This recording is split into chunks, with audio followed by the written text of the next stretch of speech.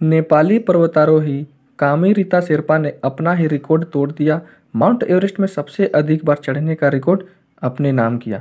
दोस्तों कामेरिता शेरपा जो नेपाल के पर्वतारोही हैं तो इन्होंने माउंट एवरेस्ट में सबसे अधिक बार चढ़ने का रिकॉर्ड अपने नाम किया। तो इसके बारे में पूरी जानकारी को देखते हैं और यह करंट अफेयर से रिलेटेड है तो करंट अफेयर्स एग्जामों में बहुत सारे क्वेश्चंस पूछे जाते हैं करंट अफेयर से तो आपको ये जानकारी को ध्यान रखना है, अच्छे से याद करना है।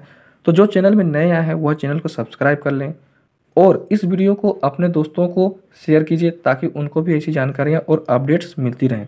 तो चलिए, हम लोग आगे बढ़ते हैं वीडियो में और जानते हैं कि क्या जानकारी है इसके बारे में। तो नेपाल के पर्वतारोही कामेरिता शेरपा ने सेवेंथ मई 2021 को माउंट एवरेस्ट पर चढ़कर सबसे अधिक बार एवरेस्ट चढ़ने का रिकॉर्ड अपने नाम किया और यह उनकी पच्चीसवीं बार माउंट एवरेस्ट की चढ़ाई थी। तो ये जो पर्वतारोही हैं जिनका नाम है कामेरिता शेरपा, इन्होंने सात मई 2021 यानी कि सेवेंथ मई 2021 को माउंट एवरेस्ट पर चढ़ाई पूरी किए और यह उनकी ट्वेंटी फिफ्थ बार की माउंट एवरेस्ट की चढ़ाई थी। इससे पहले इन्होंने चौबीस बार माउंट एवरेस्ट पर चढ़ाई किए थे। इनकी वर्तमान उम्र है बावन वर्ष, यानी कि बावन वर्षीय कामिरिता शेरपा हैं, जो सबसे ज़्यादा बार माउंट एवरेस्ट की चढ़ाई पूरी की है। इन्होंने चौबीसवीं बार 2019 में माउंट एवरेस्ट पर चढ़ाई पूरी की थे। तो इन्होंने जो पिछला 24 बार चढ़ाई किए थे तो चौबीसवां जो था, वह 2019 में इन्होंने चढ़ाई पूरी किए थे। दोस्तों, यह भी एक अनोखा रिकॉर्ड है कि एक महीने में दो बार चढ़ाई इन्होंने 2019 में ही किए थे। यानी कि 2019 में ही एक महीने में ये दो बार माउंट एवरेस्ट फतह किए थे।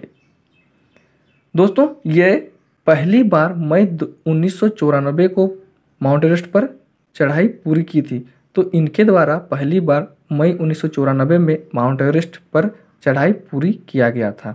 तो दोस्तों, अभी अगर वर्तमान में क्वेश्चन पूछा जाता है कि माउंट एवरेस्ट पर सर्वाधिक बार चढ़ने का रिकॉर्ड किसने कायम किया है तो इसका उत्तर हो जाएगा कामे रीता शेरपा। और ये किस देश के हैं? तो यह है नेपाल के। तो आपको यह जानकारी को ध्यान रखना है, करंट अफेयर्स से एग्जामों में क्वेश्चन बनता ही बनता है। तो दोस्तों आप लोग वीडियो को ज़्यादा से ज़्यादा शेयर कीजिए और वीडियो कैसे लगा इसके बारे में भी आप लोग कमेंट बॉक्स में कमेंट करके मुझे बताइए।